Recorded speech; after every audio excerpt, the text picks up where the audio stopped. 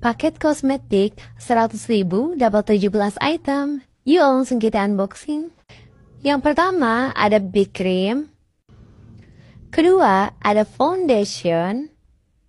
Yang ketiga ada sunscreen. Terus ada bedak padat.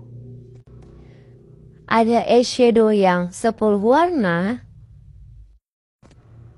Terus dapat juga bedak tabur. Dapat maskara. Dapat pensil alis. Dapat eyeliner. Dapat lipstick.